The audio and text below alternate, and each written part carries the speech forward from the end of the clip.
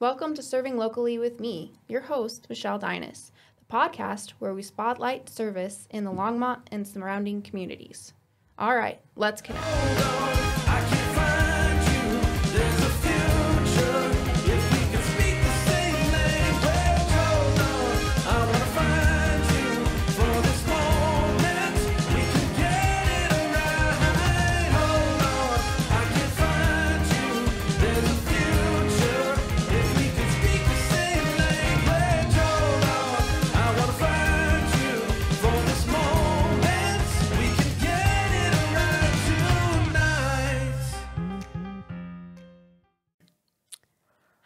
Welcome to today's episode of Serving Locally. We are here today with Keely Beck of Keely Beck Doula and Postpartum Services. So we'll just get started with who are you and what is your organization and just a quick little overview.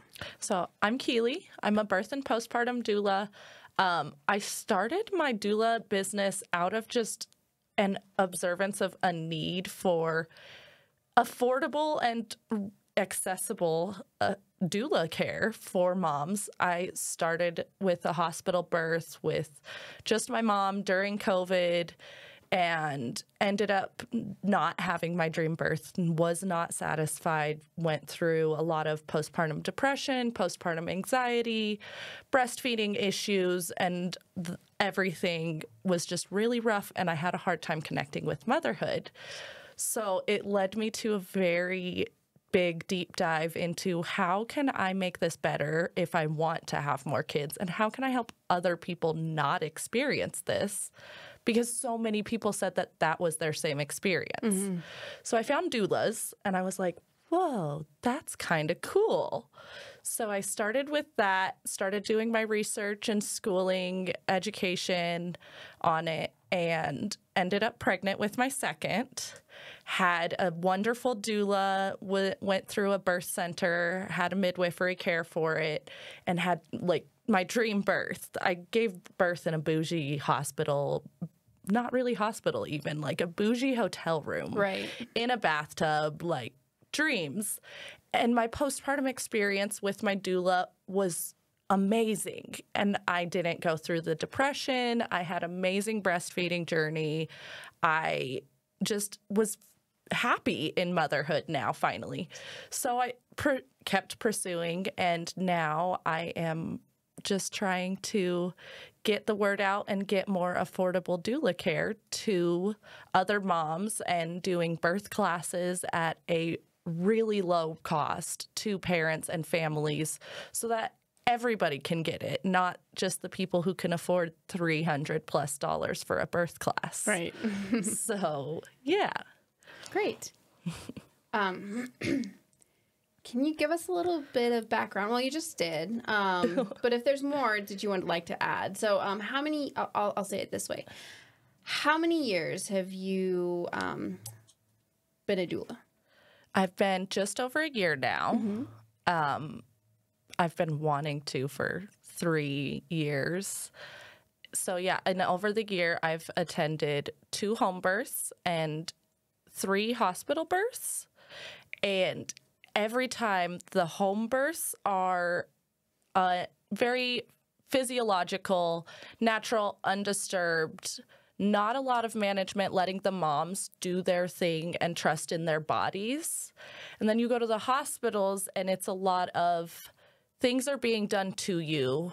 Even with a doula by your side, it can mitigate those issues of things being done. And it absolutely helps a lot more rather than the hospital, in my experience, telling me, I don't know why you wouldn't have gotten an epidural beforehand. Pushing interventions, not really giving any actual information or risks of what interventions they're giving you mm. in the hospital is a really big thing. So, with my doula services, I focus a lot on the education before labor, giving you all of the interventions that they could possibly throw your way and letting you make the ultimate decision before you even get to the hospital what you are comfortable with and what options there yes. are. Yeah. Just education on what does that mean? Because yes. when you're in the throes of labor, yeah, what does that mean? and you don't want to just have to be learning things as you're in labor going through worst. it. You're like, just make the decision for me then, I Right. guess. Whereas if you go in beforehand and you know the risks, you know what's coming, you can kind of say, no, but I'd rather do this instead.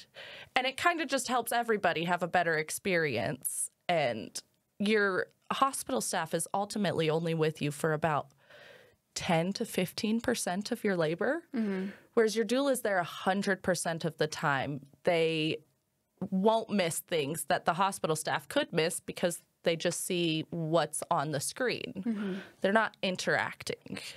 So it's more personable, just creating a more peaceful and personable experience around birth and letting women be in charge of themselves.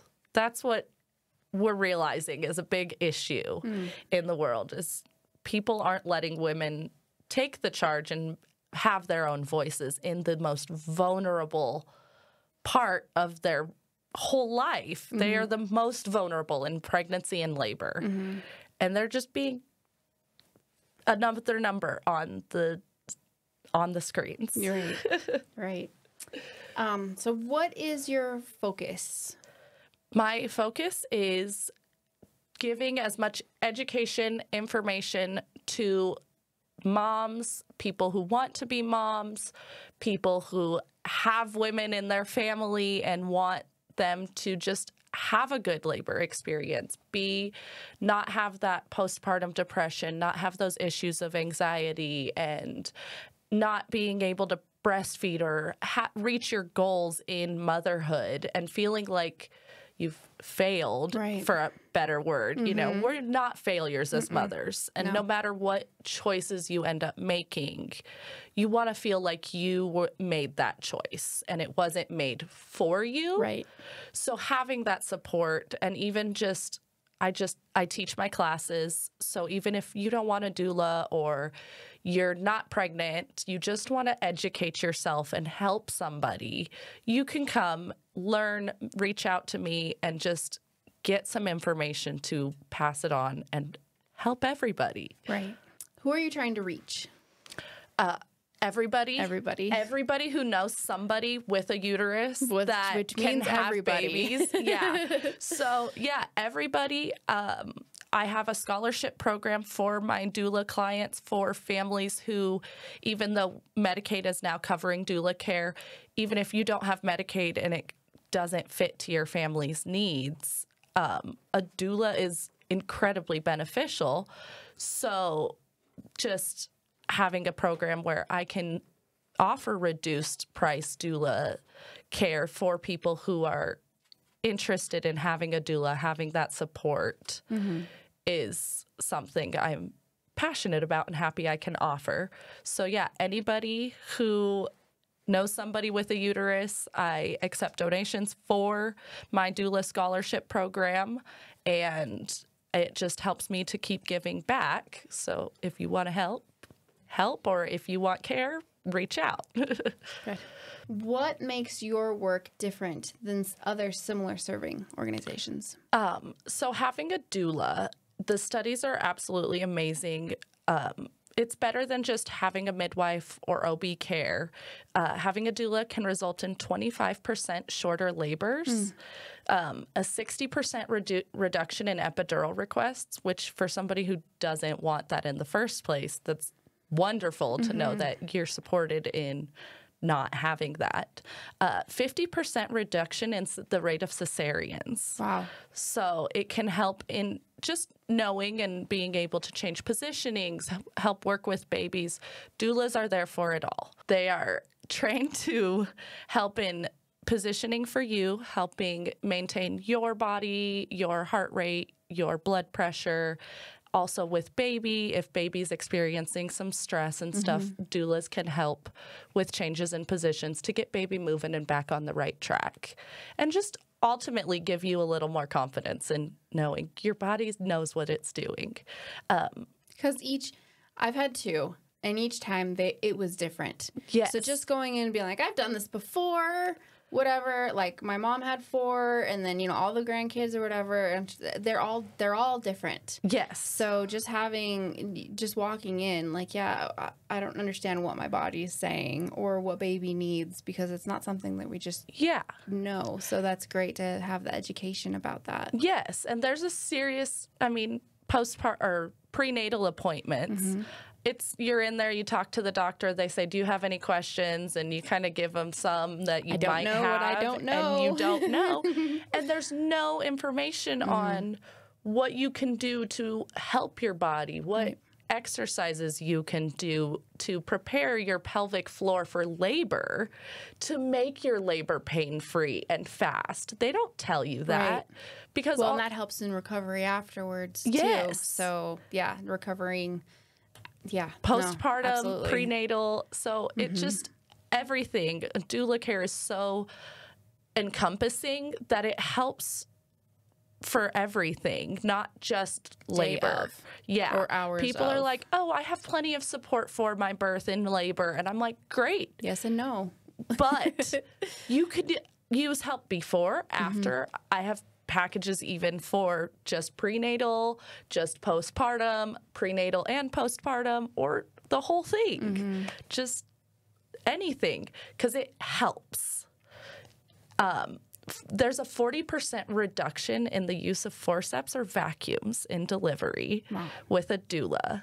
Part of it is also with the different positions and just knowing what to do, not necessarily having the mom just lay on her back and be coached to, to and told how to do it.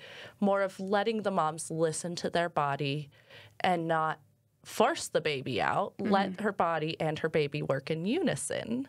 Like it's supposed to. Yes, mm-hmm. like it's supposed to. And f- there's a 30% reduction in Pitocin for inductions and postpartum, just overall.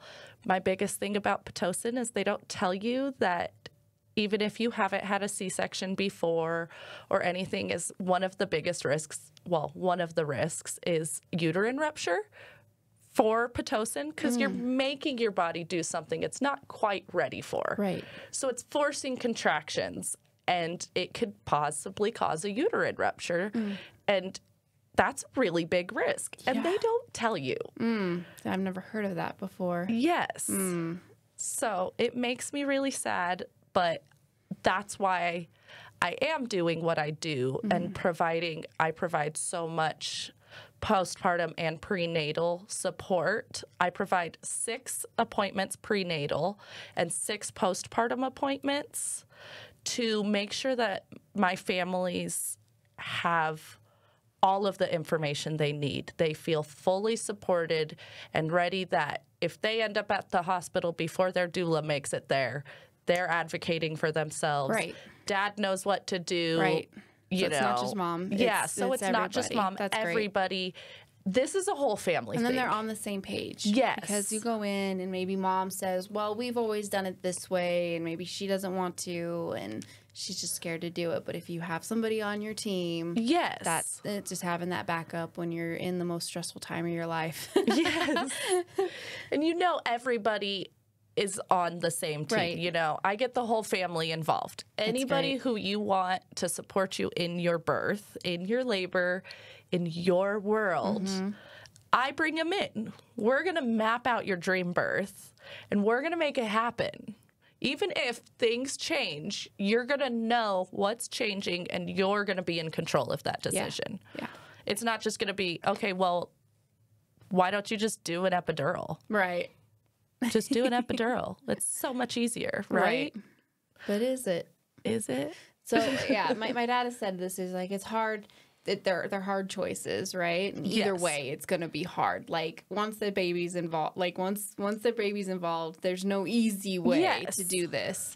Um, either you know you, you do an epidural and it's and it's easy, but then it's probably harder on your body in Yes. recovery and getting back and and everything too. Yes, and especially because now the epidural is a uh, opiate based um, injection that it alters. I mean, opiates alter your brain. Yeah. So you're in labor. You're already in a induced drug induced in your own pitocin, oxytocin in your brain, Right. and then you throw in other drugs and opiates.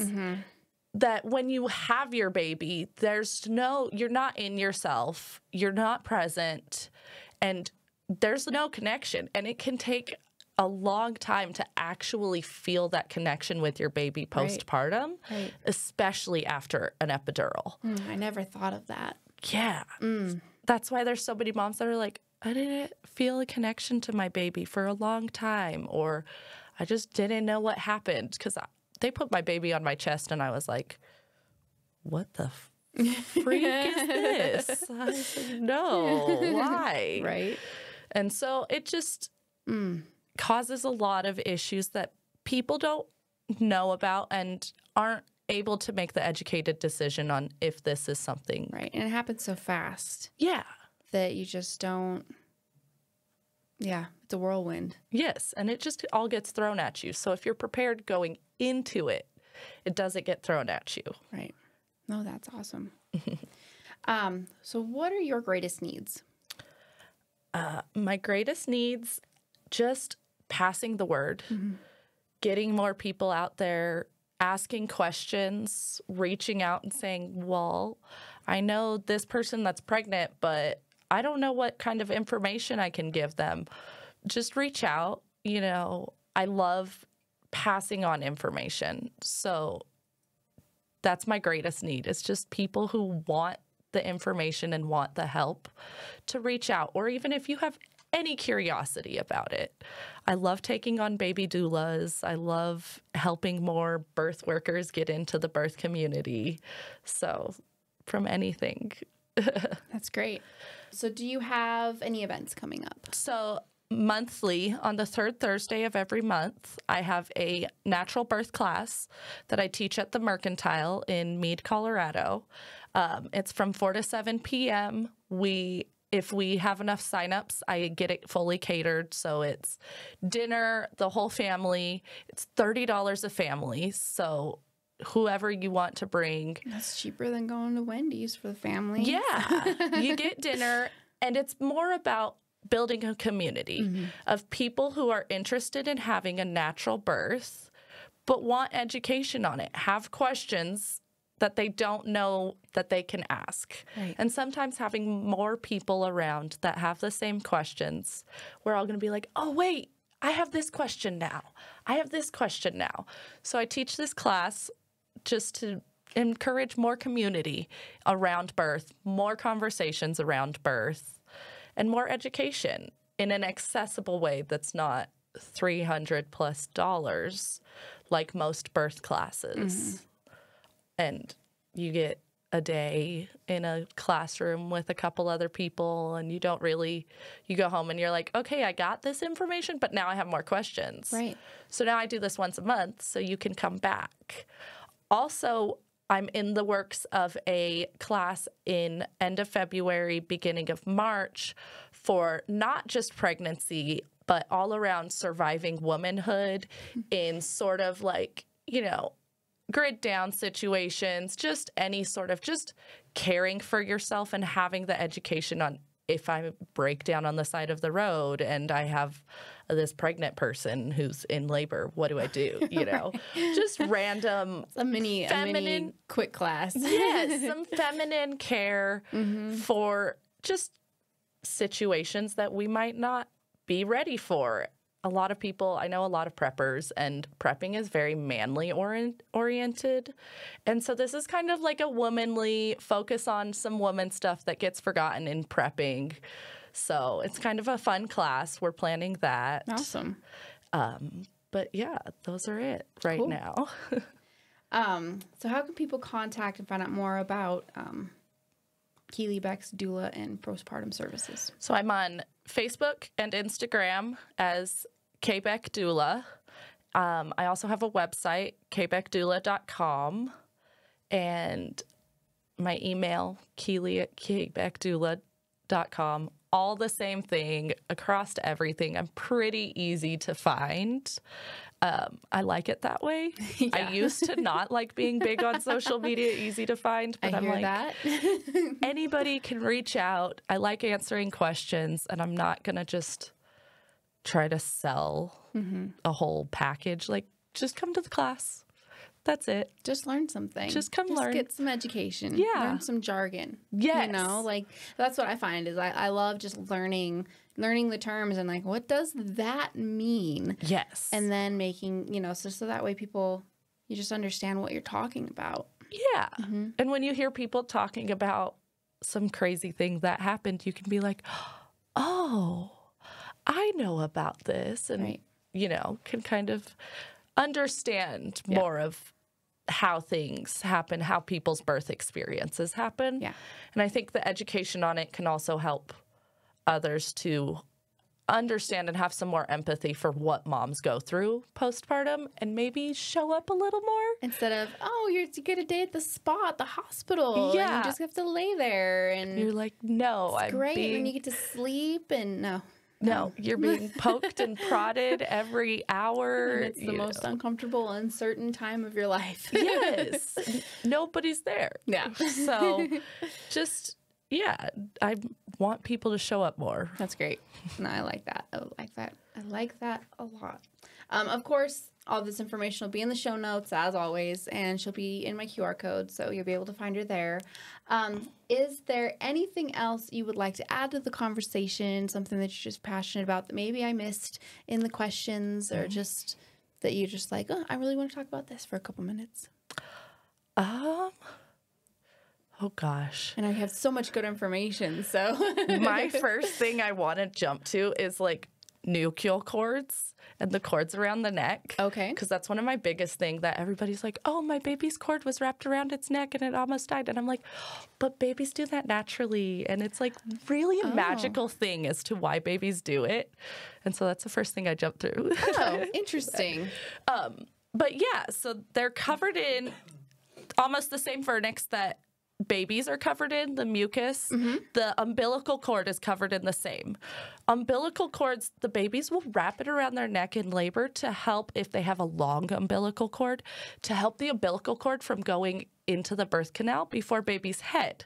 Because if the That umbilical happens. cord goes mm-hmm. first, then that's a problem because baby's head could be pushing against the umbilical cord, cutting off the blood supply. But if it's wrapped around its neck, it can't be compressed on, it can't be, the circulation can't cut off, and you're not cutting off your baby's airways. Your baby's not suffocating Interesting. because they're connected to the umbilical cord. yes. Their blood and their oxygen and Right. everything comes from that umbilical cord. So lifeline. Yes, Yes. it's not in their neck. They're okay. They do it naturally. And even if the umbilical cord were to knot, you could quite literally slide that knot up and down the umbilical cord because it won't compress on itself because of that jelly that it's made of.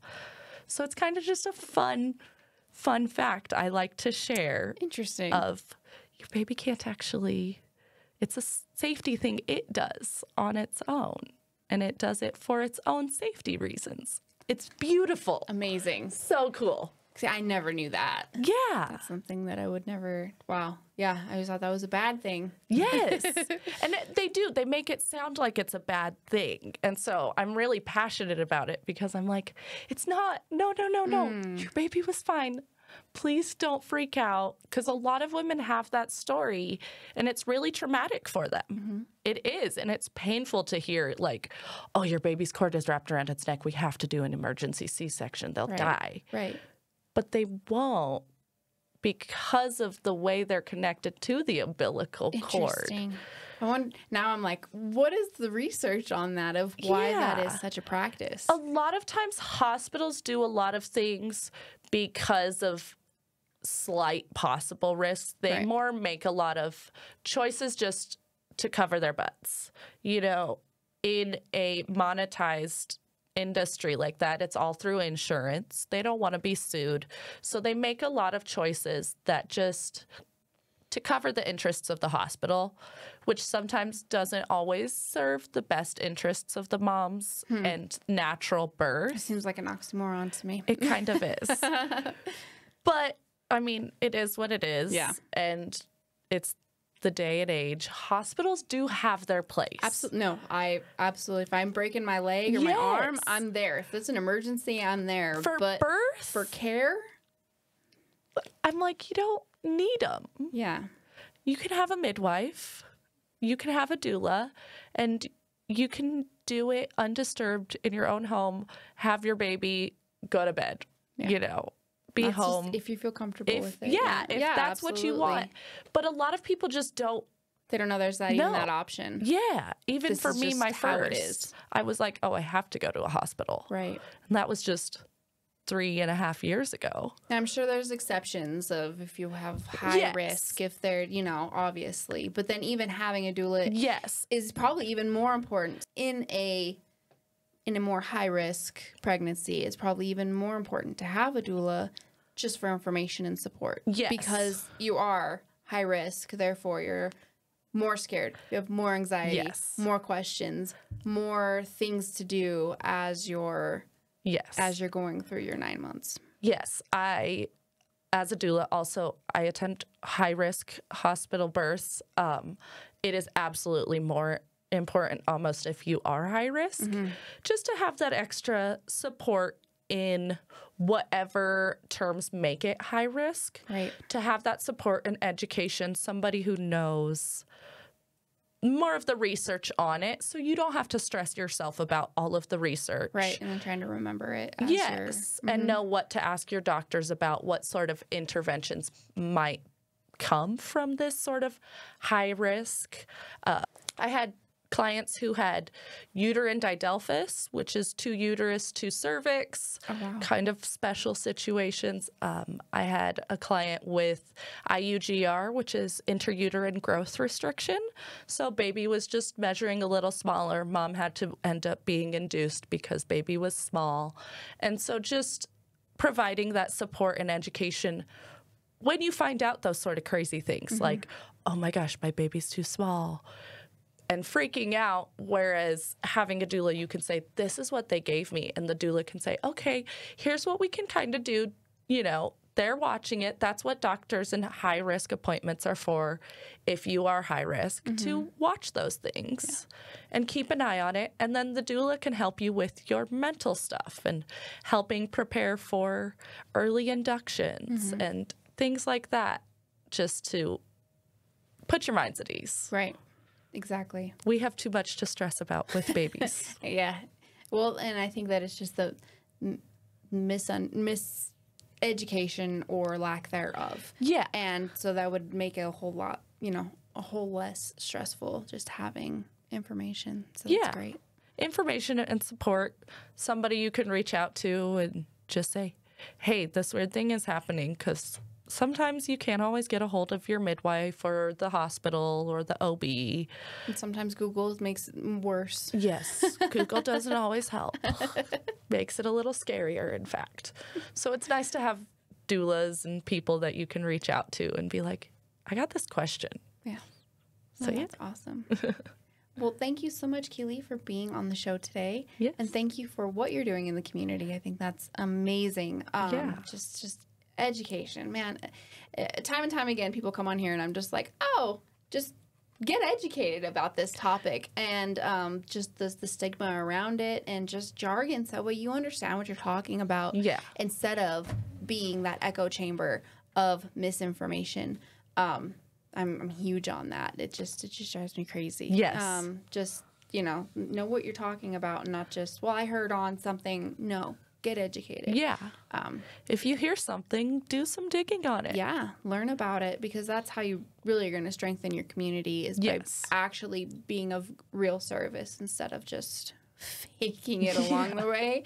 Um, so Pushing yeah. out the common. Yeah, exactly. whatever you heard. Keeping it going. Like, Yeah. Let's let's stop it. So, well, wonderful. Thank you so much for being on Thank today. you. Thank you. Yeah. Thank you to my guests, my listeners, and my supporters. Serving together, we can strengthen our community. Please like and subscribe, Do all those other things. You know you got to do them because that's the easiest way that you can serve right now. All right, now go. Connect with others and be a blessing.